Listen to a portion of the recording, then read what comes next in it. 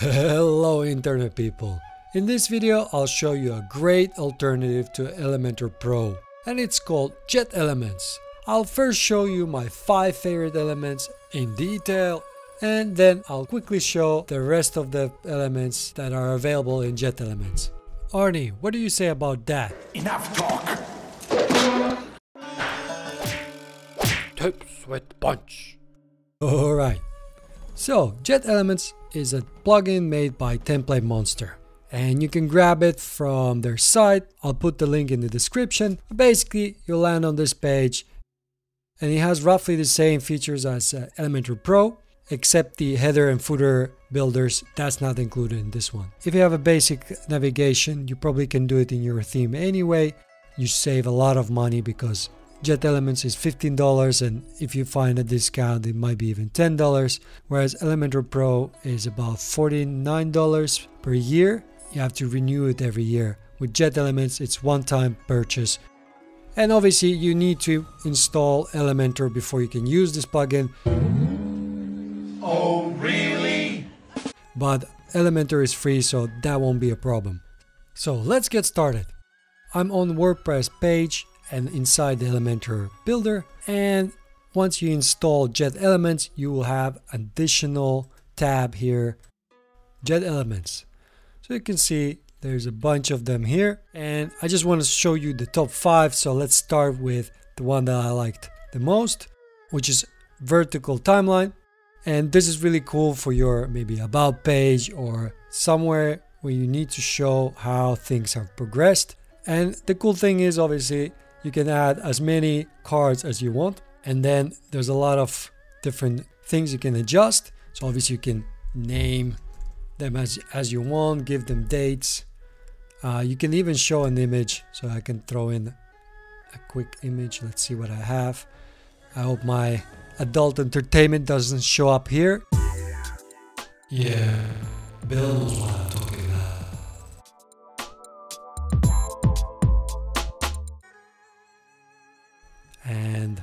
change the text obviously. You can even choose which icon you're going to use. I guess these are the default Elementor icons. And you can use whatever whatever you feel like. And then if we go to layout changes they have this animate. And if you choose that one you can see once it loads here that now it throws in the cards quite nicely. I actually like that animation usually I don't but this one is quite nice. On the actual page you can see the animations. So the cards come from sides. Let's move on to the next element. So if we go to jet elements image comparison. I've seen a lot of websites use it for before and after images. But you could also use on your blog. It comes as a carousel. I don't usually like that. At least you can stop the autoplay let's add some images to it. So there's now two. I'm going to delete one. When you click on this one you have before and after. So let's say what do I have here? This. And then this one.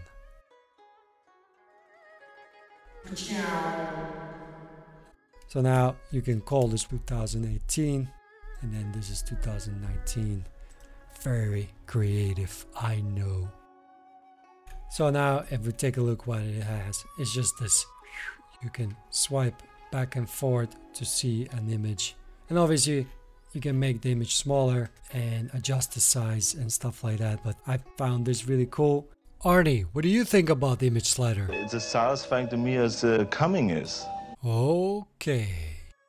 Moving on to the next one which is the scroll navigation and I find this really useful basically for all types of pages especially if, if you have a long blog post or something like that. I think this will work really well. It's called scroll navigation and now if I drag it somewhere so basically you have these three balls here. On click they will take you to a section you specify. So for example you can call this person img and then this is the ID you need to enter so in that case we call this comp img so and then take this image and go to the advanced tab, we can actually set the CSS ID. And if you give it the same ID as to the to the ball in previous step. So now if I'm anywhere on the page and I click on this one, it will scroll to the right section. You can add more of these dots. It's up to you how many you want, but I find this really cool feature where if you have a long content and it's easy for the user to find it so they don't end up like Larissa. What is with flowers? No flowers, honey. I'm sorry. Another element that I really liked is a price table. So let's just set up a three column layout first and then find the price table element and place it on the page. You can obviously remove the icon or keep it. For me they don't make sense so I'll remove the icon. Then you can call your entry price plan silver and then you make a small description. You can even set this little feature badge on it and set the position of the badge. Then obviously you can also change the price prefix. Let's change it to 49.99 per month. And then you can actually add some description. And then here you can add more of the features and you can have included, excluded, and obviously the text. And then the CTA, the button itself, you can buy or learn more. So then when you're happy with what you have, you can actually just copy this and throw it in the other columns.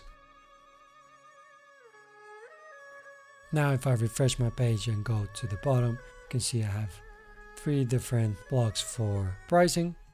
Arnie, what happens if you don't put prices on your website? Only pain. Moving on to the fifth element, I want to show you the testimonials element, which is here. And if you drag and drop it, I'm sure a lot of businesses need this one. Testimonials and some sort of reviews from clients. It's it's they're golden for, conversion. This one looks quite simple, but you can pimp it up. I'll stop the autoplay, just my personal preference, and then I can add an image to the items. So in this case, item one. For example, the image of the person who quoted it. And yes, I'm Mary Scott, so I'll leave it as is. And I like to be founder. Not sure you need the date. You can also change the animation to fade. And uh, animation speed is alright. You can add the arrows so that you can go to the next one. And then I want to make this image a circle. So again, I just go to the image and percentage 50 and becomes some circle. It's a, a bit hard to see because it's a PNG, but if you have a full picture with the background color, you'll see it's just a circle. You have nice neat carousel with your customer quotes like this. Get out of here, man. Thanks for a nice quote, buddy. Let me show you what else Jet Elements has to offer. I have a page here that I quickly put together. So let's start from the top. You have a carousel with images, text and a button. Then a Google Maps thing to show a location of your business or or any other location. Then you got this flippity box that you can animate in different ways. Then you have a heading with some animation in it. Obviously, you also have sound player, for example, for podcasts. Image with multiple hover options. More options to display images. A button with custom hover state. Percentage circle with a small animation when you scroll the page countdown timer, and then this uh, cool download button with file size. Another header with different style. Horizontal timeline. You can just scroll horizontally like this. This you already saw. Images with hover states, with text, menu price list. So maybe if you're selling pizzas or things or anything with food, this would fit very well for that. Icon and title, text thingy. Image slider. MailChimp email field. Style table. Team members block testimonials carousel,